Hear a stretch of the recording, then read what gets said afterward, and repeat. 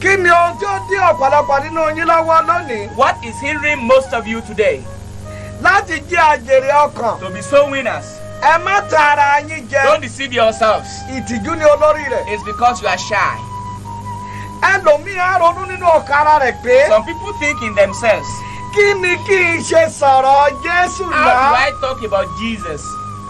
Ìkókó mi àbí ẹ ò mọ̀ bí mo ṣe rí ni Of my age and position, how do I kí talk? ni kí ni kí n ti ṣe sọ̀rọ̀ How jésù do I talk náà about Jesus nígbà tí n kì í ṣe alákatakítí when I am no Jehovah Witness? èmi ò tilẹ̀ mọ̀ kí lẹ ní kí n ṣe sọ̀rọ̀ jésù How do you náà want me to talk about Jesus?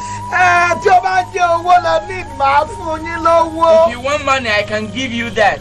owó rẹ lè ṣàìṣe gbà níwájú Your ọlọ́run money may not always be acceptable. Ohun tí ohun ẹnu yóò ṣe nígbà mìíràn owó kò lè yanjú It ẹ̀ is not always that the money can take the place of the voice. wọ́n ní kí o sọ̀rọ̀ jáde You are asked to speak out. bá ẹlẹ́ṣẹ̀ sọ̀rọ̀ Speak with the sinner. ká ìtìjú kúrò Remove all shyness. bá ẹlẹ́ṣẹ̀ sọ̀rọ̀ Talk with the sinner. kí ni ìwé Jákọ́bù wí What does James say?